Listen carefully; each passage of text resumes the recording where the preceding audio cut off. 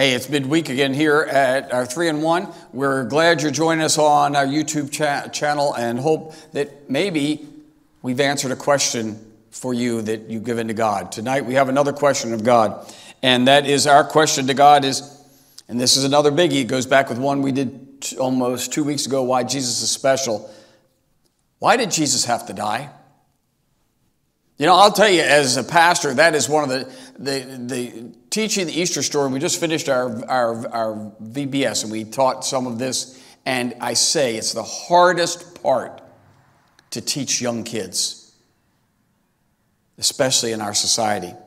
Well, Colossians says it this way in chapter 2, verses 13 and 14. You were dead because of your sins and because your sinful na- your nature was not yet cut away, then God made you alive with Christ, for he forgave all of our sins. He canceled the record of the charges against us and took it away by nailing it to the cross. Folks, we don't have to like it, we don't have to fully understand it.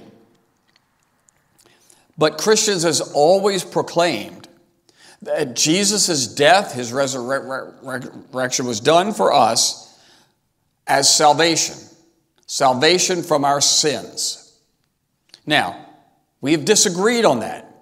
In fact, there are four various aspects of this understanding of what Jesus' life, death, and resurrection saving us means.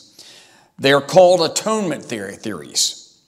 And the four most prominent ones are recapitulation, they're, sometimes called ontological, Christus the, uh, the uh, victor, Christ the king, the, the, the uh, victor, penal substitutionary, and moral atonement theories. Now, we could go into those and try to describe them, and we probably should, but not tonight.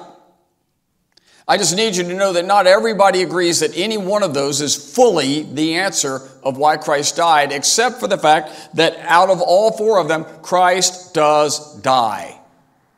And by his death, we are saved through his resurrection and the coming of the Holy Spirit. Jesus had to give there had to be one sacrifice that God Himself actually created. No human did it. Jesus was fully man and fully God, but because He was fully God, it was God who provided the opportunity for us to be saved from, from our sins. One of the things we talked about with the kids at VBS this week, I said, imagine as a young kid, you're told to go to timeout, and you're going to be in timeout for a half an hour and your best friend steps up and tells the teacher, No, that's okay.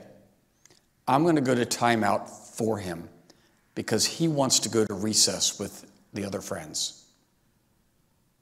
Now, that's a very lighthearted, small, simplistic way, but Jesus has placed himself in that position for us. Through his death, his resurrection, remember, Jesus didn't remain dead.